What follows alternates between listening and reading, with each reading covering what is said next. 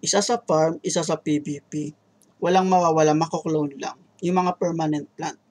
Then one week I got the horses in the back, horse stock is attached, head is matted black. Hi guys, so ito balik ulit tayo para sa panibagong video tungkol sa PVU. So, ang i-explain muna natin ngayon is yung parating na update for Farm 3.0 tsaka yung PVP and Factory Chain. So, ayun, bago mo panoorin yung video, bago natin magpatuloy, so please subscribe and like the video. Okay? Thank you guys. So ito na nga, ito yung ano yung bagong So ito na nga, ito yung bagong update ni PVU. Yung sa PVP tsaka may bago siyang factory chain, ito yung magiging bagong token ni Plant vs Undead. So ito click natin. Pagka-click niya ito. Yan, PVP and factory chain. Yung factory chain, ito yung magiging bagong token ni Plant versus Undead na nakahiwalay siya sa PVU token. So, magiging dalawa na siya. Sa, yung PVU sa farm mode, tapos yung factory chain sa PVP. Yung factory chain, uh, pwede, natin, pwede natin siyang tawagin FAC. Kasi pangat kong fact. FAC na lang. Ayan, ito. May dala big announcement sila. During the initial release of PVP mode, player already own assets in farm mode will be able to replicate all their assets into PVP. Yon, kung ano yung mga permanent plant nyo, pwede nyo siyang i-transfer yung asset sa PVP mode. Bale, dalawa siya. Ma mako-clone lang, hindi sa farm nandun pa rin, tapos i-clone mo sa PVP. Bale, hindi mawawala sa farm. Isa sa farm, isa sa PVP walang mawawala, mako-clone lang. Yung mga permanent plant. Then, one week after the release of PvP mode, farm mode and PvP mode will be developed independently. Ito, players can no longer transfer assets between the two modes. Yun, so bibig after na ilabas nila yung PvP, bibigyan nila tayo na chance na na sa isang linggo na yon i-transfer nga yung NFT plans niya sa farm mode, i-clone doon sa PvP.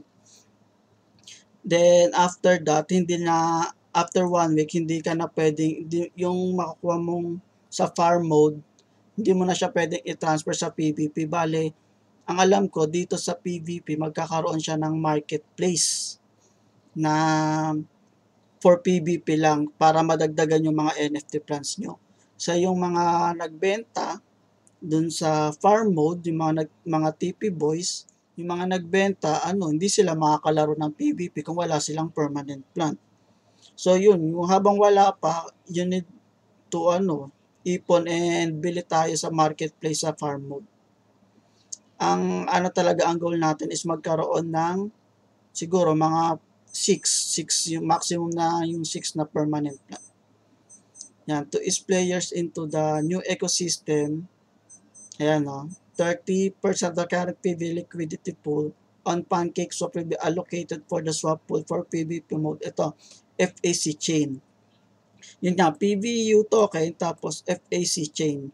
FAC token.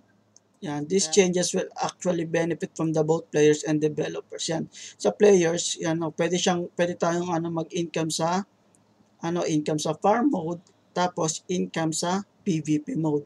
Ang PvE, yung adventure mode, alam ko, ididikit siya sa farm mode. So, yung PvP tsaka yung FAC talaga, parang nakahiwalay talaga sila doon. Ayan, although PvP will be its, ayan o, PvP will be its own game. So, solo lang talaga siya. Nakahiwalay siya sa PvE tsaka sa farm mode. Yan. Yan, PvE will integrate to farm mode update 3.0, yung update na to sa PVP, marirelease siya sa Q4 2021, so October to December. Itong meantime, yung LE to PVU, binago na to. Ginawa ng 500 LE to 1 PVU. Yan, masyado niyang tinaas. Tas 10% weekly ang itataas. So, yun. Kung may tanong lang kayo, comment nyo lang. Then, try natin sagutin kung alam natin. Ito, Q&A. Uh, Yan. What will happen to farm mode if PvP mode is released on a blo- new blockchain? Ito nga, sorry. Ito nga yan, yung ano, yung sa farm mode sa BSC. Tapos, yan, nating exchange of players who have already played the game. Kasi nga, magkahiwalay sila. Ano lang siya, i-clone lang yung NFT asset mo sa farm mode sa PvP mode. Tapos, tandaan nyo, after one week, hindi na magkakaroon ng, hindi ka na pwede mag-transfer. Kasi magkakaroon ng sariling marketplace yung PvP. Doon ka bibili ng sarili mong NFT plant doon. Yan, expected to be released in Q4 2021. Yan na. Pag ano, mag-ano lang silang further announcement. So, yun, explain ulit natin yun kapag may dumating. How do I transfer my assets from farm mode to PvP mode? Yun, wala ka naman daw gagawin actually. Yan, before the launch of PvP mode, magsas- magsha-shutdown yung server para ma-clone yung sa farm mode nyo nga, tsaka sa PvP. Yan, after I have transferred my assets from farm mode to VPV mode, will my asset in farm mode disappear? Hindi, kasi magkahiwalay nga sila. Independent sila sa isa't isa. Yan, how many times I can transfer my asset? Yan, one time only. Kapag ano, one week, one week yung bibigay ng PVU para i-clone, i-transfer yung assets mo sa from farm mode, magkakaroon ka ng NFT plant sa PVP agad. Yan, is the income in both games the same? Magkaiba kasi magkaibang token ng PBU token, tapos sa PVP yung FAC. What are the ways to gain assets? Ito nga yung PVP mode.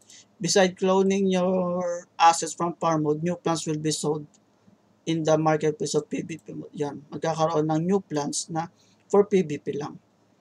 Can I transfer my PBU tokens? No. Since PVP mode will release on a new blockchain, it will use a different token. However, yon yung new token, pwede tayong bumili ah, gamit yung BUSD. Ah, yun lang, wala na. So, yun nga, kung may tanong kayo, ah, mag-comment lang kayo, then subscribe. Then, sa further announcement, hintayin na lang natin kung ano yung mga susunod na update ni PVU. So, yun lang guys. Thank you.